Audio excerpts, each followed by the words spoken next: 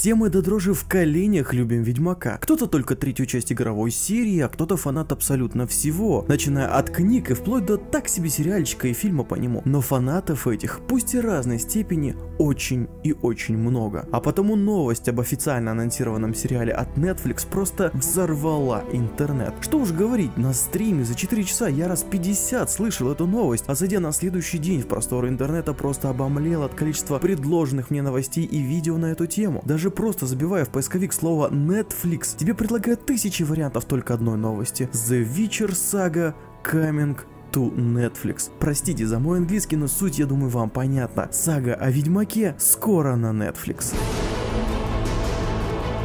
Привет всем! Меня зовут Эвойс Ребус, и я сразу отбросил все русскоязычные новости, которые писали издания разной степени паршивости и обратился к первоисточнику в виде сайта Netflix и его пресс-релиза на эту тему. И хотя мой английский не позволяет мне целиком и полностью перевести этот текст, вместе с Google переводчиком я узнал следующее. Netflix в ближайшее время будет заниматься производством сериала по легендарной саге о Ведьмаке, хотя на текущий момент ни об актерском составе или бюджете нам ничего не известно интересно. Сериал, предположительно, будет опираться именно на книжные произведения Сапковского, не затрагивая игровую вселенную, права на которую принадлежат Редам. Это явно хорошая новость для тех, кто не осилил прочитать все книги. Более того, сам Анджей Сапковский будет принимать участие в производстве сериала в качестве, кого бы то вы думали, креативного консультанта. Я не знаю, чем занимаются обычно креативные консультанты, но очень надеюсь на то, что это не фиктивная подставная должность, просто ради того, чтобы сказать, что сериал каноничен и создается под крылом великого автора книжной серии о Ведьмаке. Сейчас гольное предположение, но вообще позиция Сапковского мне несколько непонятна. Мне иногда кажется, что он жадный до бабла старик, готовый продать права на свои произведения кому угодно. Вспомните мегаканоничный сериал, например, и обозлившийся на Редов за то, что прогадал с продажи прав за фиксированную сумму, а не за процент от прибыли или проданных копий игры. Причем, если мы вспомним, CD Projekt Red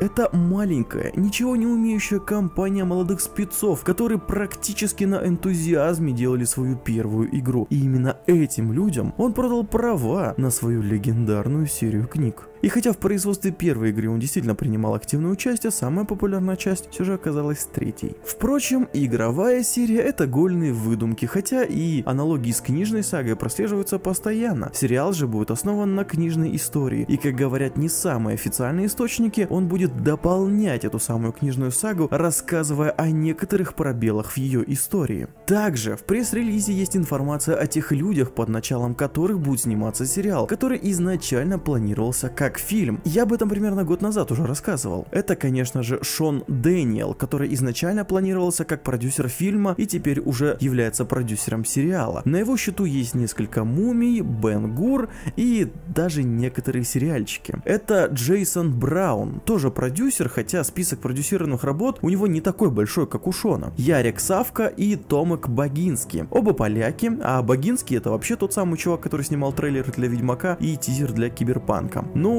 и как я мог забыть, конечно же, это сам пан Сапковский в роли очень важного креативного консультанта. Ну что ж, команда как команда, не хуже и не лучше, чем могла быть в любом другом случае, а наличие в ней поляков, которые имели отношение к игровой серии, внушает даже некоторую надежду. Ведьмак пусть и популярен, но, согласитесь, достаточно узко среди массовой аудитории в рамках населения всей Земли, а потому фильм, особенно учитывая все предыдущие попытки экранизировать что-то связанное с играми, мог легко легко провалиться. Да и формат сериала, тут не поспоришь, гораздо лучше подходит к реализации книжной саги на экране. Еще радует, что даже в пресс-релизе от Netflix прописано, что это будет драматический сериал с глубоким сюжетом. Да кроме того, это сам Netflix, стриминговый гигант, который даст Ведьмаку свою стартовую аудиторию, которой уже подтянутся все фанаты Ведьмака, а потом к ним подтянутся все остальные. А значит на старте этому сериалу успех обеспечен. Хотя Тут, конечно, остается дело за малым,